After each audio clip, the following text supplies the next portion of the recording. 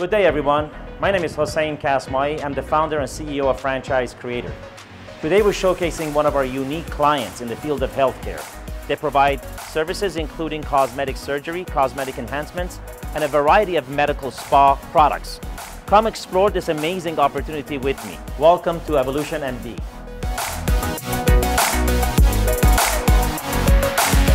I'm here today with Dr. Cesar Velilla, the founder and CEO of Evolution MD. He's also known as Dr. Lipo. So, Dr. Velilla, it's a pleasure to be with you here today. The pleasure is mine. Thank you very much. I do realize that you offer two different franchise models. You have a surgical model and you have a medical spa. And today we're talking about the surgical program of this particular brand. So tell me a little bit about uh, what Evolution MD is, uh, the, this model, the surgical model, uh, how it works, what services do you guys offer, uh, so that the audience can better understand what this system is all about. So Evolution MD is uh, an institute uh, for cosmetic surgery. So we do here all range of cosmetic surgery, face surgery, nose surgery, eyelid surgery, breast surgery, reduction, augmentation, anything that is currently approved in United States to do as a cosmetic procedure, we do it here. Tell me a little bit about your background and, you know, so that the audience, the people that are interested in buying into this franchise can better understand who you are. I'm a doctor. I'm from Colombia. I'm an immigrant. I came 17 years ago uh, to United States. Uh, I come from a family of entrepreneurs, but I was the first one to be a professional in my family. So I finished med school. I decided to come to the United States. Uh, I went to Chicago and I studied internal medicine in Chicago. Then I did a fellowship in cosmetic surgery and I studied plastic surgery in Brazil. And I started Evolution MD about 10 years ago. So the whole idea was to start a practice uh, focus on anti-aging. So the first concept was the med spa concept. So we start with uh, three employees, only uh, front desk, uh, my wife, and myself. And right now, after 10 years, we're about 94 employees with uh, almost uh, nine locations because we are opening another one. A lot of people think that they're getting into a, a cosmetic surgery, oh, you have to be a physician or you have to be a surgeon. But when in reality, the system that you've built in most states, you could be a non clinician and get into a business like this and start operating it by hiring the right physicians to work for you. Anyone, anyone in the United States can own a cosmetic surgery practice. You don't have to be a plastic surgeon to own a cosmetic surgery practice. So that's something really, really important and open a huge, huge door of possibilities. If you are an investor and you're looking to invest in the United States and you want to create a business, you can have a business in the healthcare industry in cosmetic surgery, which is one of the growing faster and better pay business in the healthcare. There is some states that regulate to be a doctor either as a medical director or to be the head of the operation. And we're gonna tell you which states are the ones who require that because not all the states in the United States have that requirements. A typical location that a franchisee can start with, how many square feet can that be? And do they start off with one or uh, two or three, or how many employees is a good number that for, can, for them to start with? Okay, so everything depends of your projections and also of your uh, of, of, of the amount of money that you're willing to invest. You can go super big or you can go small. So everything is very relative. But the minimum that you need, let's say you wanna start with the minimum in a, to enter into the world of cosmetic surgery, opening only one operating room. So you will need one operating room and uh, two recovery beds, and of course the rest of the logistic that is around the surgery, like an sterilization, a cleaning room, uh, supplies, some uh, post-surgical uh, rooms for follow-up and things like that.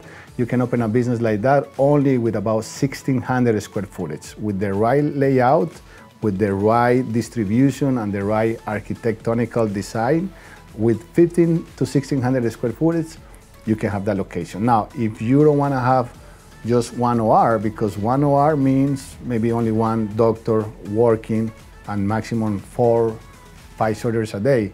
You want to go big, you can go two ORs or three ORs, four ORs. What's the franchise fee? What's the royalty? So you have an initial investment for the franchise fee of $60,000, and then you have a royalty fee of 10% of uh, the revenue. That will give you access to use our brand, to use our name, and to have all our secrets and how we operate this company. Excellent. Well, let's take a walk and let's take a look at what the center looks like so that the audience can see how simple the operation can be. Perfect. Let's uh, go. Thank you, doctor. So here we are at the, at the surgical model. Uh, so tell me how it works. So this is the entrance, I assume? Correct. So this is the surgical suite. Okay. And uh, of course, you need to have a reception area. So we manage uh, grays and white colors. And um, so you need to have at least one receptionist because we have a large practice with five operating rooms, we manage to have two receptionists, but you can start with one receptionist. Uh, you need to have uh, TV or video when we usually show all our marketing materials. We show our treatments, our special, our procedures, or you want you show TV, but our suggestion is to advertise the practice while the patients are waiting. This is the entrance uh, of their suite. So once the patient check-in comes this way, okay. and then this is when the patient does the check-in. So you're gonna need a little space when the patients can check in uh, before surgery. You, the patient signs their consent electronically. Perfect. Um, again, in the system that we create that is part of the franchise system. Then you have a, a, area when the patients change and leave their belongings. And once they're ready, when they're changed, when they're already signed on the paper, they're ready to go inside the surgery. Okay, so they wait here and somebody comes and gets them and they go to the next. Exactly. Step. And now this is where the magic this starts. This is it. There you go. I like it. So this is um, an operating area okay. for four ORs, four operating rooms when you can do local anesthesia, you can do IV sedation, or you can do general anesthesia. Okay. So you can do everything in cosmetic surgery. So you have the recovery area uh-huh. that you optimize it and you use it before surgery as well as after surgery. Got it. So you are optimizing the space. So here we have our recovery area, which each of the units goes with the monitor to monitor each patient vital signs. So the patient goes here and wait first there. And once they're ready to go to surgery, they come into the operating room, right? So the typical surgery that uh, uh, typical franchisee at this at when they start off, what size uh, this room do you, do you anticipate it to be as many beds as you have here? Do you think they can start off a little bit smaller? Okay, so you can start minimum, of course, is one operating room. So you need two recovery beds per operating room because you want to have one room before surgery and one room after surgery. So the minimum turnover is if you start with one OR that can do five, five surgeries a day, you need two. So the space that you will need is half or maybe three quarters of one quarter of this space, right? For that. So this is an operating room which is, uh, has the logistic to have up to general anesthesia. So in, uh, in the levels of anesthesia in the United States, you can do level one, two, or three, which is local anesthesia, that you don't need an anesthesiologist or anesthesia machine.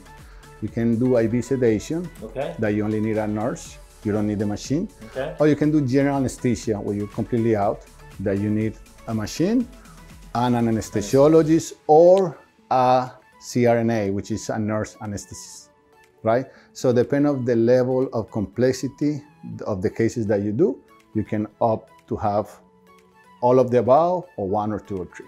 So then how do you, you don't have obviously those people, a franchisee is not gonna have those people on staff, anesthesiologists. So they're gonna be hiring them for the day, pay them an hourly rate, or how does that work? Right, the model that, that we have uh, even our large scale is that we have uh, subcontractors. So you don't have to invest the money, pay a salary for a person to be there, even if you don't have uh, cases.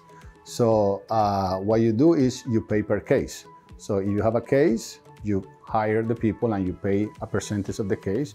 If you don't have a case, you don't have expenses. And that's the model that we recommend of the franchises to do. A lot of doctors that they don't have this experience, They just go ahead and hire a nurse, hire an anesthesiologist, and they work to pay salaries. And at the end, they don't have any, any revenue. So these are the kind of things that we learn over the years and that we pass to the fran franchisees. Of course. So we have the anesthesia machine. So anesthesia, you need an anesthesia machine in the cases that you have to do general anesthesia. Mm-hmm. If you have an anesthesia machine, you also need a generator uh, as a backup in case the lights, the power goes out. Mm-hmm. And uh, by law, you have to have at least four hours enough of power, like to finish the case. Got it. You need to have a surgical bed, which is very standard. You need to have this that is a, a Mayo uh, table, which is very uh, uh, simple. You need to have good light in it. And again, we incorporate very nice, you know, state-of-the-art light in it, very small, you not like those ugly big yeah. lights, you know, from hospitals. And believe it or not, these are the same price or even cheaper than those ugly big ones. Uh, and then if you do liposuction, you need, you know, liposuction machines, and we will give you in the franchise manual by detail everything that you need. So the only thing you need to know is how to read, open the manual, and then you know you're gonna need this, you're gonna need that, you're gonna need this, etc. Including where they can buy these. Exactly, In, including prices. the including the suppliers with the good prices that we learn over 10 years. So you wanna have a cleaning and sterilization room. Uh, because of the large volume that we do, we have three machines. But when you start your practice, you start only with one. One machine. One machine is enough okay. uh, to clean your instruments. Again, we gave you all the contacts, all the vendors, all the suppliers, and uh, because because we manage a large volume, of course, you're gonna get discounts and better prices when you get it through us. And um, very basic, you wanna have a sink, uh, and a dry area, a dirty area, a clean area, and all those things that it cost us thousands of dollars to learn a lot of people um, giving you advice how to do it. Everything is going to be in the manuals of the franchise, so you know what to do since the beginning. Uh, this is part of our system. This is part of our proprietary system that we create only for Evolution MD. So this is exclusive for the franchises and for the franchisee. So here you can see whose patient is coming today, when the patient comes, when the patient are in surgery, when the patient leave, so you have metrics of what's happening. If you are the owner and you are not in the practice, it doesn't matter. You can be in Dubai on the internet and you know what's happening in your business. So the only way I can control my eight clinics is through systems like this. So I can go in Brazil, I can be in Brazil, Russia, whatever. I just take my phone, open the system, and I know what's going on. I know how many surgeries are happening, how many patients check in, how many patients check out, how much revenue I'm getting, if I'm getting patients or not, if the patients are wearing outside or not. So my, my employees think that I have eyes everywhere, but I don't have eyes. I have good system to track accountability. And that's very important when you have a business. You need to track accountability. So going this way, uh, we're gonna have uh, the rooms when we see the patients after surgery. So this is one sample of the typical room uh, that we see for the follow-up.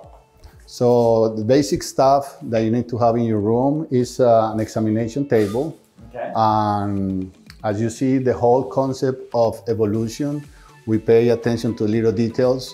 So we have our logo incorporated everywhere because we work very hard on our branding. You take a look here at the wall. You're gonna see the logo. You take a look on the sanitizer, you're gonna see a logo. So we want to continue with that concept through all our uh, franchise. That's right. So uh, it's a very clean space, you know, very, very modern, very, very modern very space. Modern. And these, these, these, these, paintings give you that relaxing feeling. You're in here, calm down, relax. Correct. So in reality, if you measure the space, it's a very small space. It is. But with the decoration, it gives you the deep it that really is does. that is a bigger space. It so really that, that's look at it. This looks probably like a ten by ten room. It's, it's, but it gives you the illusion that I mean probably a fourteen by fourteen or something like it's, that. It's eight by ten. Is it eight by 10? Eight by ten. but with the design, you it, it, gives you the yeah, it, it, it gives you the deep that you that you want. And uh, so this is a, it's a basic examination room, but with the, those little details, it makes it give you more more high level, you know, skill. So we have uh, the background for before and, before and after pictures. Really, really important when you work in cosmetic surgery to have the before and after pictures. So those are the details that we learn with time that are important going forward because uh, patients always want to see the result and the only way to show them the big, big difference when you, sh you show them on the screen how they look before and how they look after. So you have bad before and after pictures, it's hard to show the patient their improvement. So this is part of the setup. This is very basic setup, but it's very important to have a nice background when the patients can stand, you know, and take their pictures in different positions. So tell me about these uh, these paintings. I see these paintings all around your your office, yeah. from the entrance to here. Right. So the idea behind the the concept of this was kind of try to recreate an art gallery in our clinic. So this is gonna be available for the franchises and a very very affordable price. Uh, we have a direct contact with the manufacturer who does these pieces. It's a technique called sublimation. And the good thing about it is that we can have the same concepts with the whoever wants their own graphics. In other words, you are the new uh, franchisee and you have an image that you like, we can use the same image with the same technique and we continue having the same concept of the whole clinic. As long as that image is approved by you. Correct, exactly. That's very interesting. Dr. Velilla, it's been a pleasure and an amazing opportunity having a walkthrough and learning about this uh, concept uh, for those people that are interested in buying into this franchise. So I'm very happy to open the doors of Evolution MD to all the public and I'm looking forward for all of you to be part of our Evolution MD family. For more information about this great concept, please reach us at uh, www.franchisecreator.com or go to info at, just send us an email at info at franchisecreator.com. And there's also their website. You can go directly to evolutionmd.com and learn uh, more about this concept as well. Looking forward to seeing uh, you guys uh, joining this family. Thank you.